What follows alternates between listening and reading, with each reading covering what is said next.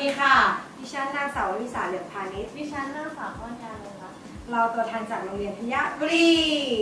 วันนี้นะคะเราจะมาสร้างสรรค์งานออกแบบลวดลายแก้วเซรามิกนะคะ เป็นงานประยุกต์ศิลป์และจัดเป็นงานทัศนศิลป์ประเภทหนึ่งนะคะ แล้วก็จะใช้เทคโนโลยีการสกรีนแบบหนึ่ง ซึ่งเป็นการสกรีนโดยใช้ความร้อน ซึ่งแตกต่างจากการสกรีนด้วยวิธีอื่นต่างๆ silk screen หรือการสกรีนด้วยการพิมพ์ตะแกรงไหมนะคะ อุปกรณ์มีดังนี้เลยค่ะ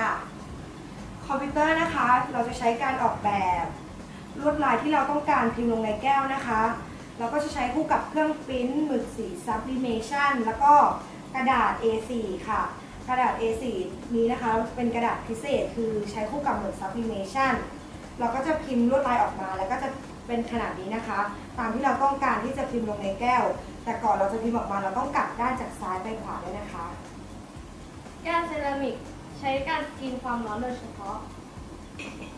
เทปกันความร้อนและสุดท้ายเครื่องสกรีนเรามาเริ่มทำกันเลยดีกว่าค่ะ อย่างแรกเลยนะคะ พอเราได้กระดาษที่เราต้องการมาแล้ว เราก็จะใช้แก้วนะคะแปะไปอย่างนี้แล้วก็จะใช้เทปปิดระหว่างตรงนี้กับตรงนี้นะคะ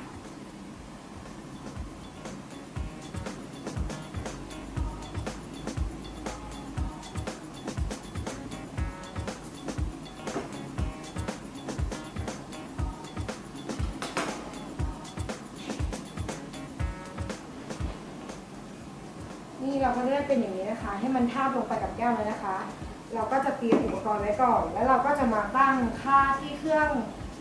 พิมพ์นะคะ เราก็จะเปิดเครื่องค่ะ แล้วก็ที่โหมดนะคะ เราก็จะเอาความร้อนที่ 265 นะคะ พอได้ความร้อนที่เราต้องการแล้วเราก็จะกดโหมดอีกทีค่ะ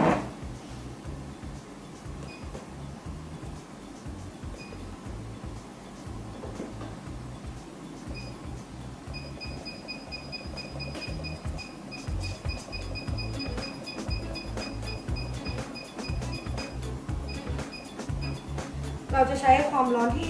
265 นะคะ แล้วก็เวลาเราจะใช้ที่ 65 วินะคะ พอได้เราตามที่เราต้องการแล้วเราก็กดโหมดเลยค่ะ นี่นะคะเวลาก็จะเริ่มเดินไปค่ะ และความร้อนก็จะขึ้นไปเรื่อยๆ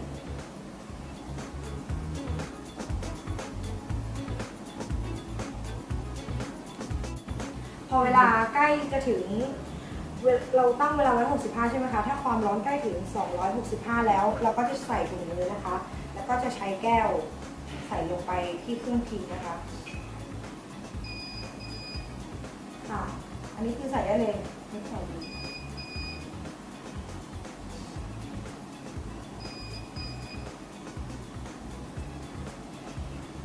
เราจัดให้พอดีนะคะ เพราะว่าเวลาหนีบเครื่องมันจะได้พิมพ์ตัวล็อก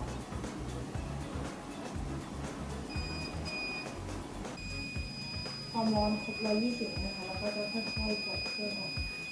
แล้วก็ใส่ถุงมือด้วยนะคะหรือใช้ผ้าจับก็ได้ แล้วก็จะปิด ตรงนี้ก็ให้มันคลายร้อนทุกอย่างนะคะแล้วก็จะแกะเทปออกเป็นรอบดูอย่า